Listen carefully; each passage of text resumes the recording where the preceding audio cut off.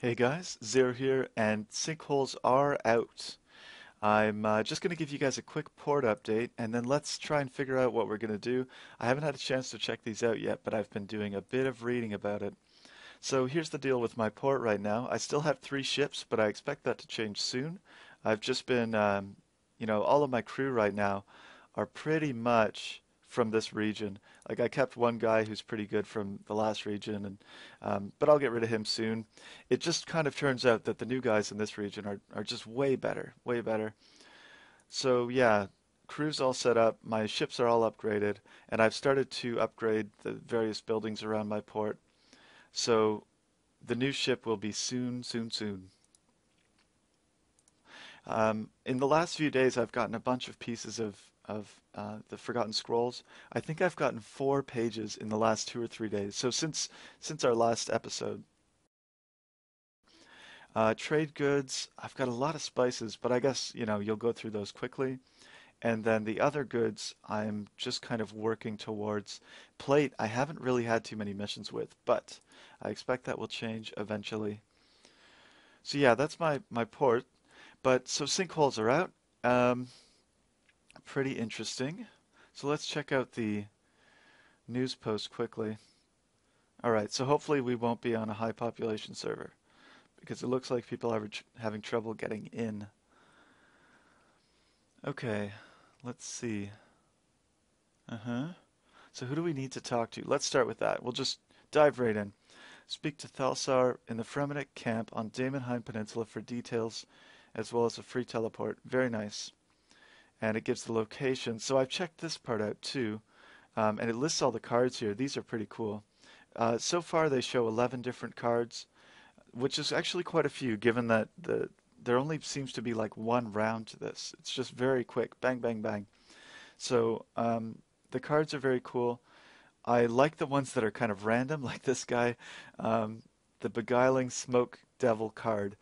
The Confusion Smoke Devil will cause confu- or the Confusion Smoke Devil will cause confusion. Uh huh. and randomize all the players' chests in the process. Awesome. I love it. I love that card. Um, so these two cards appear to do the same thing except to different players. The one ranked above you and the one ranked below you. I think if I understand that right, pretty cool there. Thieving Locust trades your chest. Yep, very cool. Um, I like this one too. The Bunyip will randomly generate a card for you, which is played immediately. So if you're screwed, if you if you don't have much to go on, maybe if you're in last place and you're like, well, let's just you know do something crazy. Um, that might be a fun card to play, but I don't think it'll be very strategic most of the time. I do like the Scavenger Meerkat. If you're in first place and you ha- have already secured a good prize, like if it comes around to you and you've got like a, the huge XP lamp, well, you can just, you know, scurry around, find the medium lamp, and just toss it in your chest with the huge one. That's pretty neat. Protection Titan works just like I thought it would, more or less. Uh, Preening Ibis, yeah, that's for um, cosmetic stuff. I like the Phoenix one too. It's a it's a reversal card. Whatever was played last, you can reverse. Very neat. So if someone steals your your huge lamp, or your large lamp or whatever, and then it's your turn, right? Um, you can play that. So that again shows the benefit of acting uh, later in the round. Pretty cool. Shows a bunch of the locations as well, but we won't go through that. Maybe I can look at that another time. So let's go check it out. I'll be right back with you guys over in over in uh, Daemonheim. All right, here we are. So, uh, Oh, look, there's... These look like more tents. Were all these tents here before? I mean, I don't really come up here too often to do uh, dungeoneering, so I actually expect that I won't do very well in this, but we'll give it a try. There's a teleport option here. The sinkhole won't appear for another minute. Oh, another minute. That's perfect timing. Yeah, let's go. I want to see this sinkhole. Okay, so we're over in what is this, Karamja? No. Oh, right here. Oh, maybe I'll do my mining rock after. That's kind of handy. I'm excited to see this. I want to see like the earth just cave in and this sinkhole appear. That would be awesome. And there's not a whole lot of people. Oh, there, there it is. That's uh, That's not a sinkhole. All right. In we go. Oh man, the Gorajo, Gorajo Hoardstalker looks awesome. I wish I wish his coins and cards would be in different planes, but that looks really wicked. Okay, I'm just to enter this. You're carrying items. Okay, let's bank these quickly.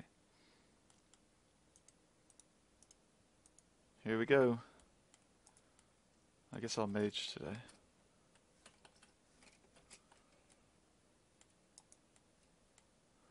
Okay, and we're off. So our objectives are fish, uh, exploratory totems,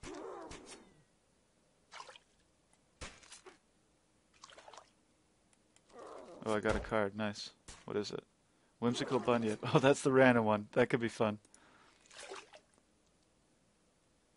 Uh, combat totems. Okay, I gotta kill people too.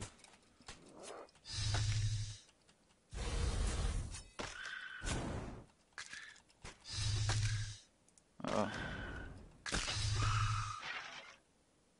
What spell am I casting? And we have six minutes left.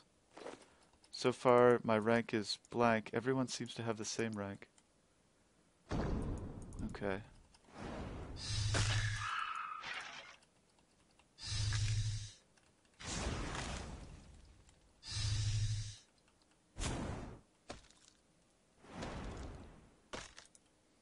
So our primary objective seems to be raw fish, so I'm going to focus on that, if possible.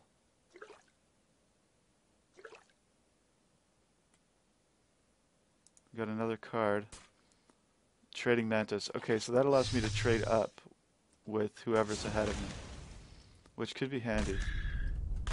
We're definitely going to use some of these cards, or at least, I guess, one.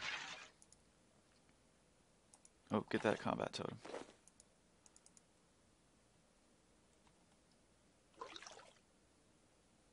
Alright. Let's see here.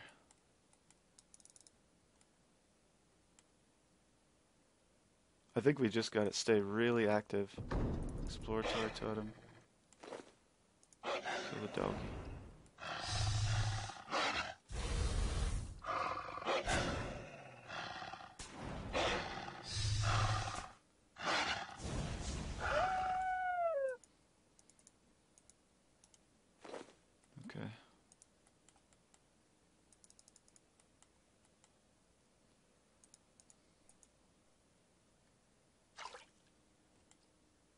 Okay, I think I'm going to deposit this stuff. Just to see. Let's deposit. We certainly don't want to... Okay, someone already deposited. Now I'm ranked 5th. I better hurry up.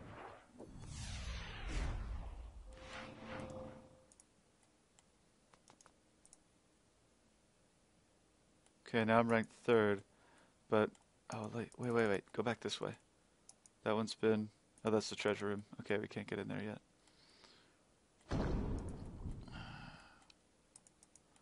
I gotta find a room that hasn't been really picked over.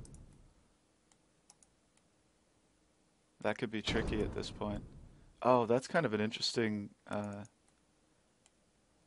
an interesting wrinkle, is that if you go back too early, then it's going to be hard for you to catch up to anyone. And do anything. Okay, raw fish is done. We don't need any more raw fish. We need exploratory totems. That check mark, I'm pretty sure that's what it means.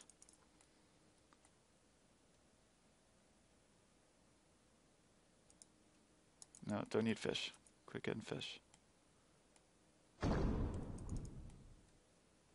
There's a bank. Can I deposit? Oh, I can just deposit here. Oh, that's handy. Okay. That's actually really good to know. I didn't know that before. So you probably don't want to deposit at the Hoardstalker because that would take too long. What's that? Hmm. Some weird thing. I'll have to check that out in the video later on to get a good look at it. Combat totem, yes please. Let's see if I can find a, another chute to drop that in. And that's all we're looking for now is combat. That's a dead end.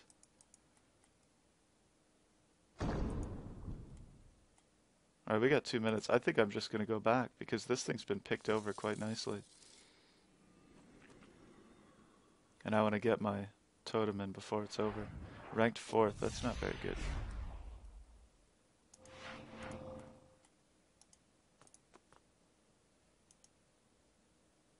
Okay, we're we're done. I don't even think I got that in. Fourth place. Okay, so what cards do I have? I have two cards. Trading Mantis, Whimsical Bunyip. I'm going to play the Bunyip. It's just going to be fun. Okay, I've got the Dungeoneering tokens. That's probably a good one. I don't mind that.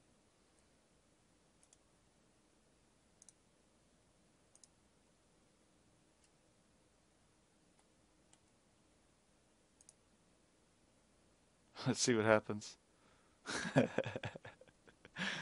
oh man. What is he doing? Oh, I got the pack yak.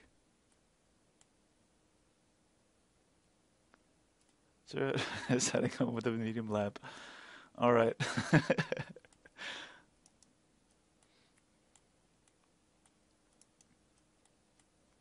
Let's see what plays out here. I think that guy missed his turn the first one.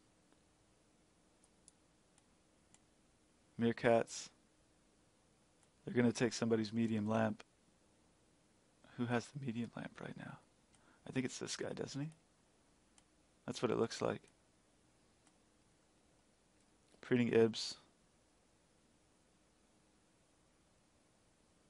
And there we go. Okay, so I got a medium lamp for my pack yak. Um, you know, maybe a slightly below average prize, unfortunately. Let's see what we got here. Huge lamp and an armor piece. That frozen or froze guide seems to know what he's doing.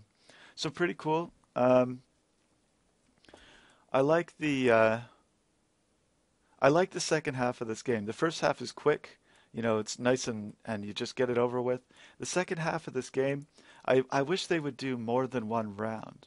You know, maybe if they made the cards more available, so you had different cards, and maybe just two rounds or, or something like that. I don't know. But uh, one round, very quick, um, I kind of like it. It's pretty cool. Let's see what we got for our experience. 15k. That's like the most engineering experience I've had in a while.